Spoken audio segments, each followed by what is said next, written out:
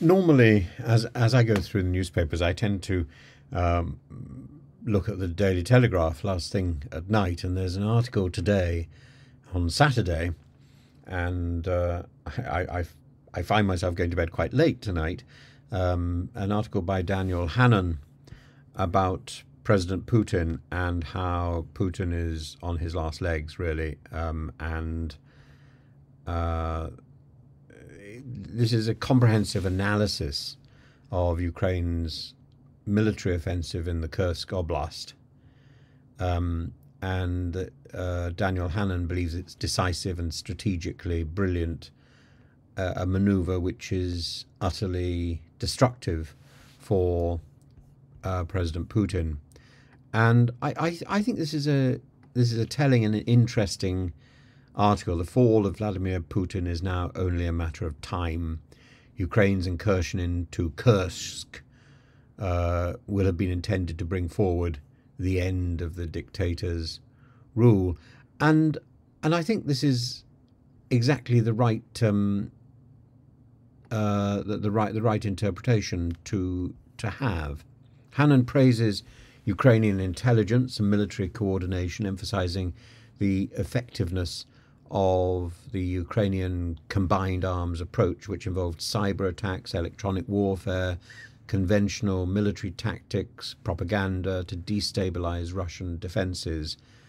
Uh, but it also involved um, an, an, understanding of the Russian welcome, because the the, the, the, the Russian civilians who were left in in the region uh, didn't throw stones. They didn't attack the Ukrainians they, they may not necessarily have welcomed them. They were largely indifferent to them. And the Ukrainians have been benign uh, occupiers. Uh, it, it, seems that that is certainly the impression that is given.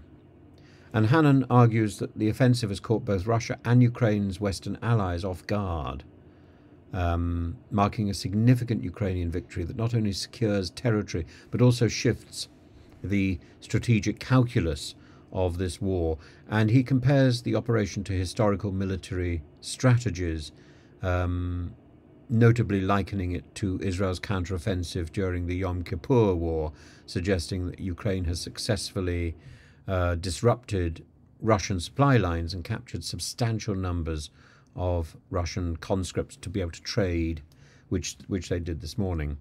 The article further explores the broader implications of the offensive, and Hannan suggests that Ukraine's actions uh, aim to demoralize Russian forces and civilians, particularly by targeting infrastructure and drawing comparisons to the Soviet Union's costly war in Afghanistan. But, but that went on for many, many years because, you know, Russia doesn't give up. Hannan asserts that Ukraine's ultimate goal to weaken Putin's grip on power by making the war increasingly unpopular within Russia uh, has been effective, and um, and and that this will almost certainly lead to uh, future instability in the in the Russian system. He's critical of Putin's response. Why would why would you not be? The the, the, the grandmother in Kursk uh, on, on on Telegram was critical of Putin's response, which he views as inadequate and increasingly desperate. And he suggests that Putin's failure to mobilize sufficient forces to counter Ukraine's advance, combined with internal economic and social strains, will eventually lead to a significant shift in Russia's political landscape. At the moment, Putin's main focus is to rearrange the advisors and the, um, the, the, ministers around the table.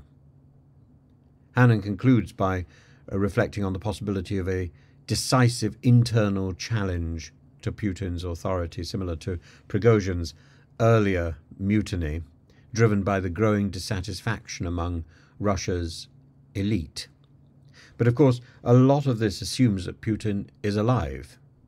If you take the assumption that Putin is dead, then presumably the internal the, uh, the, the, the, the, the, top of the Kremlin system knows who is in charge, but the wider public don't. And this is a secret which is, uh, in, in that scenario, very well, very well kept. Um, it may not be true, of course, but Hannan's article is a blend of military analysis and political commentary, and it offers such a um, such a good review. It's cautiously optimistic about Ukraine's prospects while highlighting the potential for significant change in the Russian um, political system as a result of the ongoing conflict. I, I think it's too early to say how that change will be brought about.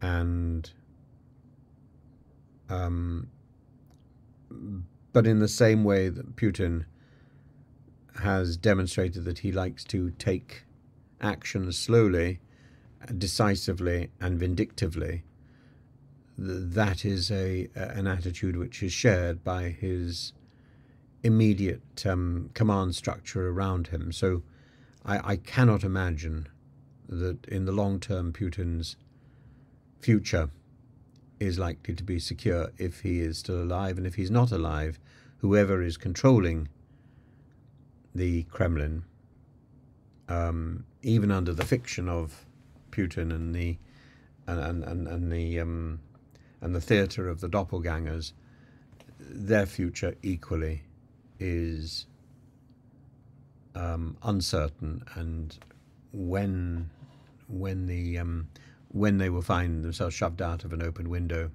who knows? It could be tomorrow. It could be in two weeks' time, three months' time, a year's time. Uh, Putin has has has um, ha- has taught his followers to act decisively and to act slowly and to act with extreme prejudice and extreme force.